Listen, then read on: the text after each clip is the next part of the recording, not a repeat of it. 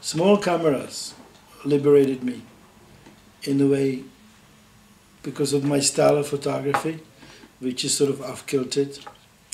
And for me, I could be really free with it and sort of dance, dance with the camera, you know. It's a small, I always see what I'm shooting here, so I'm not shooting blind. And I don't have to bring it to my eyes. And um, I think, you know, and also the ISO is amazing.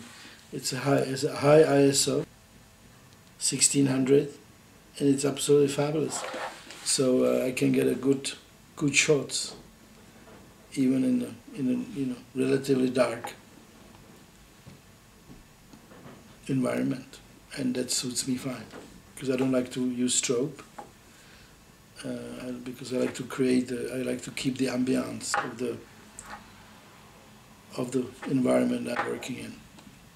And also the Canon has, created, has uh, made this incredible uh, watertight underwater casing for it, which is completely incredible and very easy to use and very accurate. And it's not really clunky so I could work on a boat on a Zodiac with all the water splashing around and uh, I got a lot of good results. So that was a great it was my first big experience with this G10 and then I took it to um, Darfur where you know it's very difficult to photograph because all the, the authorities hate journalists and hate photographers and so I've, I've done a lot of interesting interesting things there with it just working.